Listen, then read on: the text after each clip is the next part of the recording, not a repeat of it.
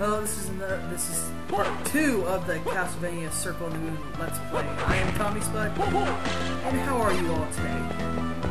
I'm fine. I just realized that I tried to record this earlier and it screwed up completely, so I had to re-record it. So, as you can see now, I've gained one level. I did some stuff off screen. I gathered some. I gathered an HP upgrade, uh, MP upgrade, and then a heart upgrade the heart appears in this room. Now, I don't know about this. I don't know. I've had several hard times with this recorders, recorders becoming this and that. It was fine last time, but this time it's just being a jerk and not letting me record. And lets me record like two minutes and freezes. It's done that a lot, so I'm sorry if I if I if I have some cuts in any of my videos, but basically, you know, if I do encounter that problem, I will be stopping, and I will be re-recording from near that exact same spot, just a couple seconds later. Sorry if there's any time inconsistencies or anything in this video. Try to point them out, by the way. That'd be really fun. But let's keep going. Now, in this area, a skeleton bombers and mudmen and heads and everything else. And we come to these guys, those orange guys. Floating spirits. No. They're annoying, but the and the spin whip attack of it. Oh. I forgot to mention last time, if you couldn't hear my voice, I'm sorry. It kind of got a little bit screwed up during uploading it to YouTube. I completely screwed up rebalancing the audio. I get audio from both sources. It should be fixed now, but if it isn't, inform me because I technically don't know if there's something up with YouTube it reduces quality or something, and, and it screws things up. So if this isn't right, tell me because I have no idea if it is or not. Anyways, let's go on and fight the forces of Dracula and try to defeat him before he kills our mentor or whatever. Ah. Bombs.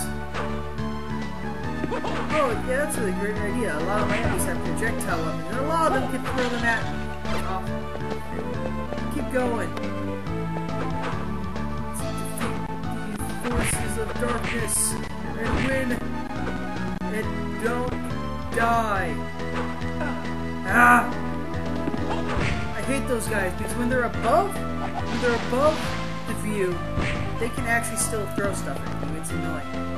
Here we go. Oh, skeleton guarding the card upgrade. Awesome. At least it's not something else. Those stupid hoppers like to hop on your face and So let's keep going, shall we? Down! Down! Oh, level 5. Yes. You should be at least level 5 for fighting the first boss.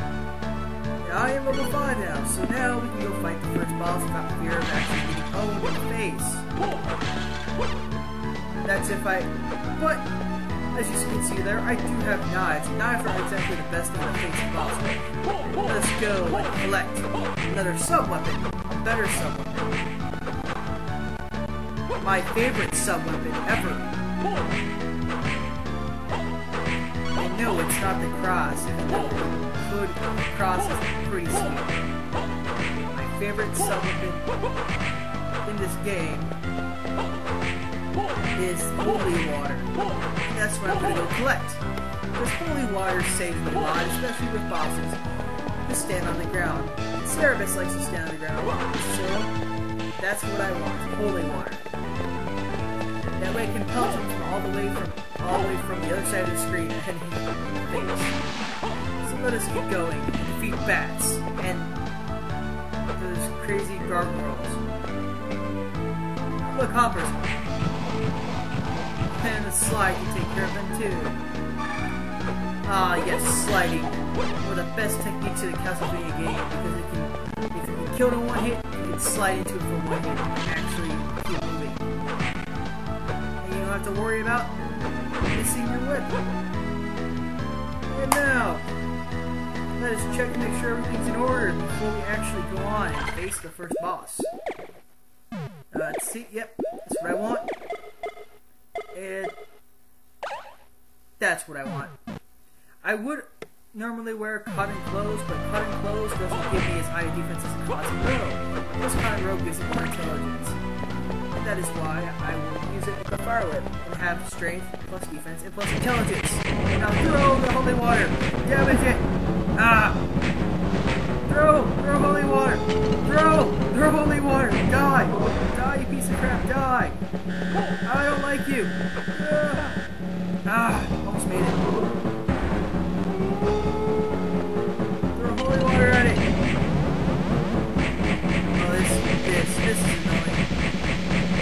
Why you need holy water. To get it hit with it before he actually does something bad. Holy water! Yes! Look at that damage rack up. Uh, it's like glass, it's like thunder, it's like, yeah. Die! Oh crap, it's gonna be bad. Oh, no, no. Okay, get you from here though. Ah! Uh, ooh! Yes, I beat Cerebus! now watch you burn! Burn! Die! Die! Finally, that boss was a real pain. And having as little HP as I have, I'm surprised I got away with that much. Usually that goes out a lot worse. And I'm like flashing, and that's terrible to do. So let's go on. And, ooh, double! We can do double jumps now. Like a fighting game character. Falcon from Power Stone 2 can do double jumps, and now we can too! Double jumping, the manly way to jump. Unless you can triple jump, and that's even more manly. The number of jumps you have equates to the number of manliest you have, as well as the landing. Now to defeat everything with the fire whip, because I have too much MP to waste. I probably can get off throwing the fire at everybody. Cotton clothes, but we already have cotton robe, which is better. Oh well, at least we can keep it and try to get 99 of it. Let's go back this way. Let's try and get to the safe point without getting killed. It sucks to beat the boss and then get killed on your way back to a safe point. Let's go. Oh, crap. You know, you die. I don't want to deal with skeletons, I don't want to die here. I do not want to die right here. It's terrible to die. Run! Run! Run! Ah, oh, run! Get up! Don't fall! Ah! Oh, who cares? I'm next to the save point. Do I have time to do the next section?